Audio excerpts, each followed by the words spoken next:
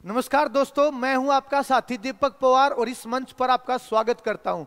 कुश्ती की अगर बात की जाए तो जनाब हरियाणा के पुरुष पहलवानों की कोई टक्कर नहीं ले सकता इस दुनिया में।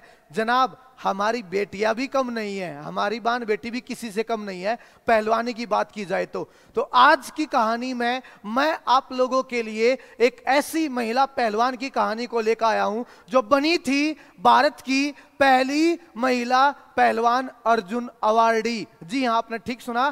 कुश्ती में अर्जुन पुरस्कार जीतने वाली भारत की पहली महिला पहलवान हरियाणा से है और इनका नाम है गीतिका जाखड़। और अगर इनके बारे में बात की जाए, गीतिका जाखड़ का जन्म, गीतिका जाखड़ का जन्म 18 अगस्त 1985 18 अगस्त 1985 को इनका जन्म हुआ ईसार के अग्रवाह शहर में, ईसार के अग्रवाह शहर में।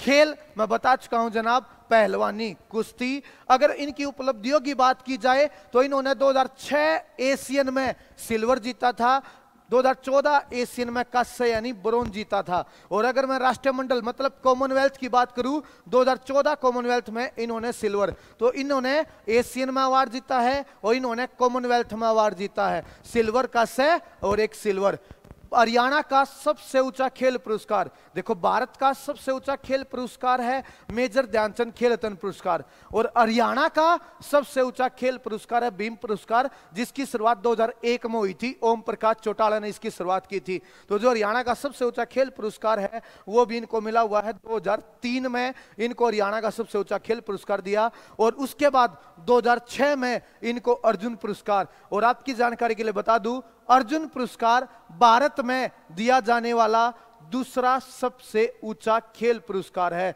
और जैसे ही भारत सरकार ने 2006 में अर्जुन पुरस्कार से सम्मानित किया और यह बन गई देश की पहली महिला अर्जुन अवार्डी पहलवान। इससे पहले किसी भी महिला पहलवान को इंडिया में याद रखना अर्जुन अवार्ड से सम्मानित नहीं किया गया था। हरियाणा की इस बेटी को मेरा नमन। जय हिंद, जय भारत।